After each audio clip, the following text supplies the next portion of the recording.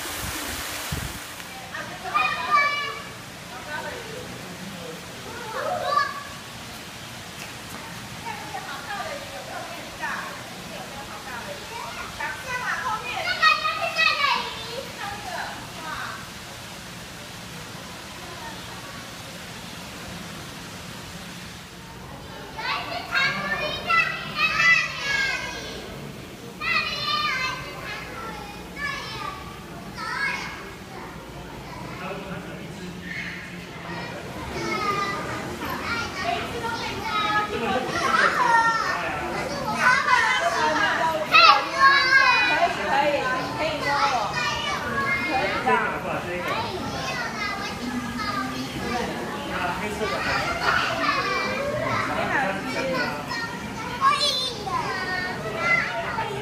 怕你也会怕。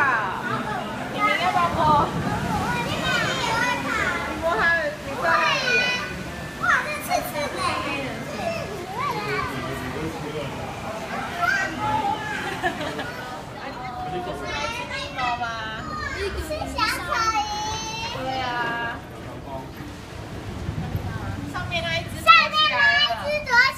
躲在珊瑚里面，哎呀，嗰啲鱼笨笨咁样，好得意。好，刚刚。啊，出来了。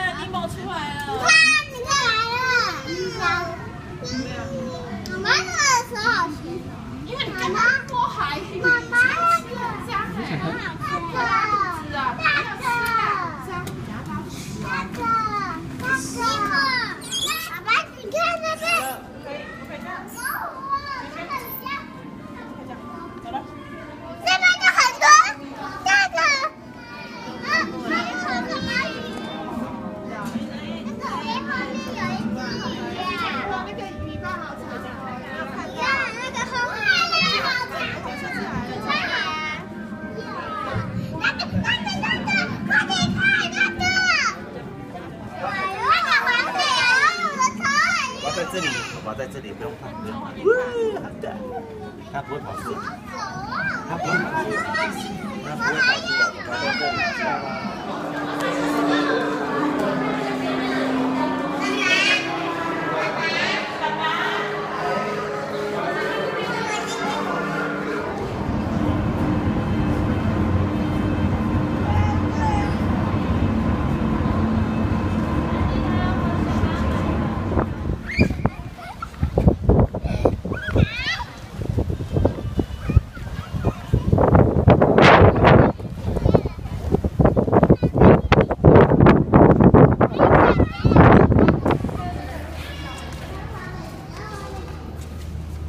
Okay.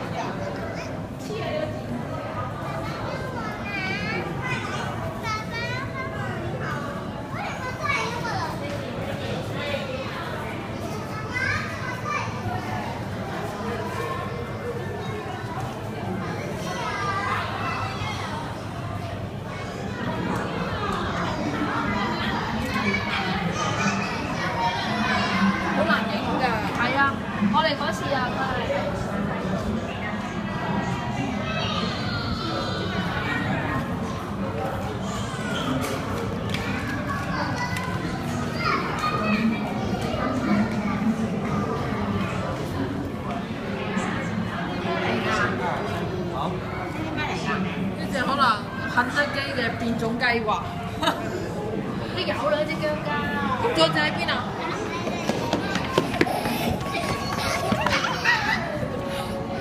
哇，你们跑比较快。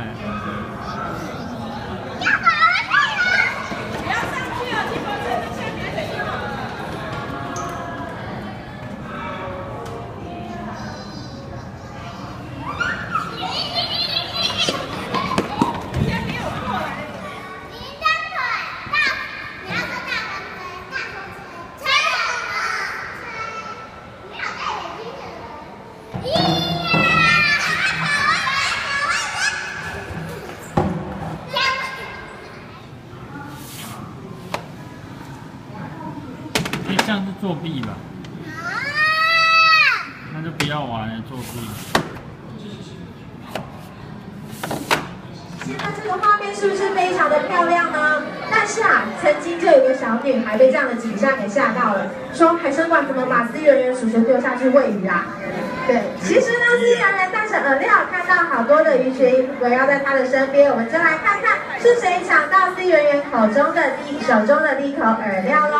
好，现在呢，围绕在司仪人员身边的呢是一个比较呃呈现菱形状的红鱼，颜色呢是呈现土色的，它是赤土红。那在另在另外呢，还有一只红鱼身上的背啊是呈现雪花的白色斑点，然后嘴巴呈现像鸭子嘴巴一样形状的，我们叫它雪花鸭嘴燕鸥。看来司仪人员一出场就被呃两只红鱼给围绕住喽。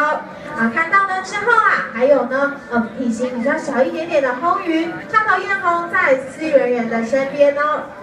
我们看到这个红鱼赤土红以及雪花鸭嘴燕鸥，那我们要怎么样来分辨出它们呢？其实我们可以简单的利用它们呢红鱼在游泳的时候的游泳的姿态呢来分辨出啊赤土红以及啊犬的时候，C 人员是很害怕被红鱼咬到的哦，因为红鱼的牙齿呢是呈现一个像是门板一样的形状，是直接呢平平的滑滑的牙齿。那如果呢？大家如果呢，司仪人员被红鱼的牙齿给咬到的话，那个感觉呢，大概就像是呢，各位来宾，如果啊，把你的手放在门板一样，用力的把它关上去，这种感觉呢，就像是被红鱼咬到的感觉。大家回想看看，如果小时候有被门夹到的感觉，这样的感觉？你袜子塞进去一点啊。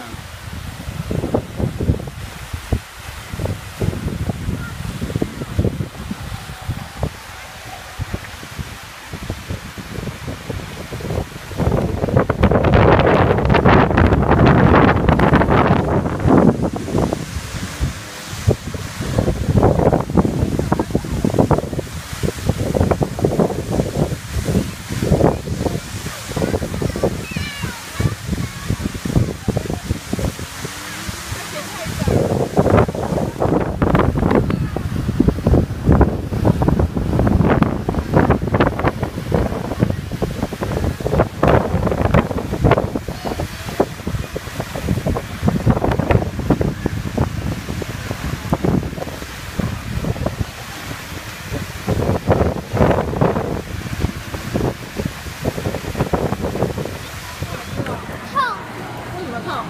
刺刺刺的。对，碰。这骨骨头吗？没有啊。那你吃，刺刺的。那你试试看这个，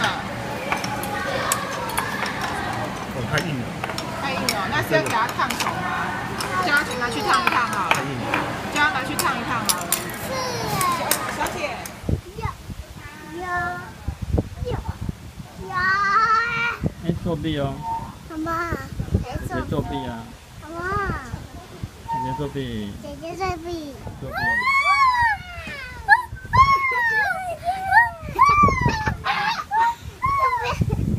挺挺好玩啊！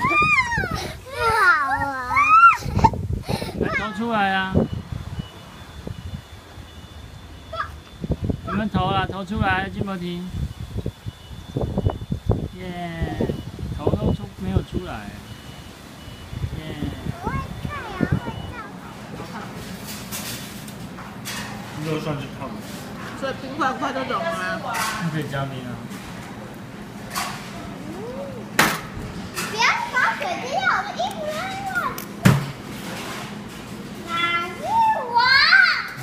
再吵就不要吃哦。